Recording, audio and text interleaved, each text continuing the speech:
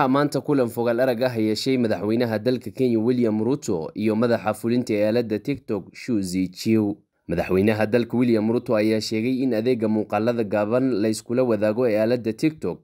ay kenya kala shaqayn doonta dib u eegista iyo la socodka waxyaabaha la soo dhigay ee kenyaanka isticmaala aaladan tallaabadan ayuu madaxweyne ruto ku tilmaamay inay xaqiijin doonto in waxyaabaha la soo dhigo aaladan ay ahaadaan kuwa u hoggaansan nidaamka lagu heshiiyey. Madaxweynaha ayaa intaasi ku daray in horumarkan cusub ay ka dhigan tahay in waxyaabaha aan habboonayn ama meelka dhaca ah laga saari doono aaladda tiktok ee gudaha waddanka. Madaxa fulinta ee tiktok shuzi jiw ayaa dhankiisa xaqiijiyey waxa uu ballanqaaday inuu shaqaalaysiin doono kenyaan badan si ay uga shaqeeyaan aaladda tiktok